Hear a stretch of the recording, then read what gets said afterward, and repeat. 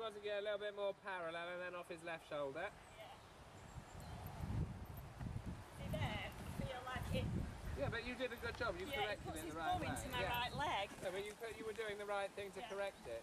Yeah. And you've got to almost like, you know, when you, you know, on a normal change, you'll go left leg, release the right. Yeah. You've got to think, don't let the right leg go forward because you've still got to hold him left Yeah, that is what I'm thinking.